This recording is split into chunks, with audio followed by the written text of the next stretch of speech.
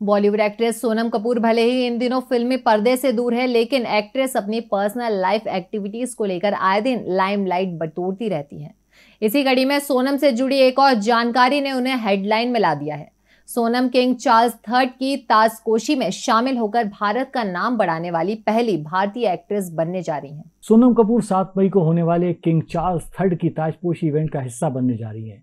ये समारोह लंदन में आयोजित होगा, जिसमें ट्रॉम क्रूज, कैटी पेरी जैसे सितारों के बीच सोनम एकमात्र भारतीय सेलिब्रिटी बनकर इवेंट में चार चाँद लगाती नज़र आएँगी।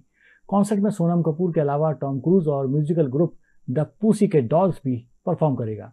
वहीं सोनम कपूर इस ताजपोशी इवेंट में कॉमनवेल्थ वर्चुअल स्क्वायर का परिचय देंगी। ये पहली बार होगा जब एक्ट्रेस किसी रॉयल फैमिली के इतने बड़े उत्सव का हिस्सा बनेगी। इवेंट से जुड़ने के लिए सिंगर कैटी पेरी और लियोनेल रिची का भी नाम सामने आ रहा है। जानकारी के अनुसार ये दोनों सितारे बतौर गेस्ट इवेंट का हिस्सा बनेंगे। मध्य प्रदेश की महिलाओं के आर्थिक सशक्तिकरण के उद्देश्य से संवेदनशील मुख्यमंत्री शिवराज सिंह चौहान द्वारा मुख्यमंत्री लाडली बहना योजना का उपहार सभी पात्र महिलाओं को दिया गया है। इसके तहत उन्हें प्रति माह एक हज़ार रूपए दिए जाएँगे। ये राशि सीधे उनके बैंक खातों में पहुंचाई जाएगी। योजना की प्रक्रिया बेहद सरल और निशुल्क है।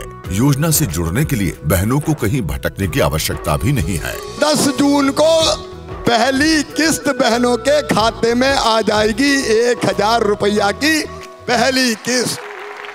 योजना से जुड़ी अधिक जानकारी helpline number zero seven double five two seven double zero eight double zero एवं website C M Ladli Behna dot M P dot G O V dot in आरोप प्राप्त की जा सकती है। चलो लाडली बहना।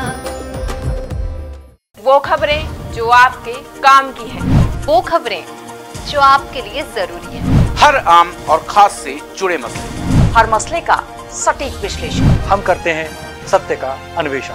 दखल न्यूज़। आपके हक में। आप देख रहे हैं दखल न्यूज़।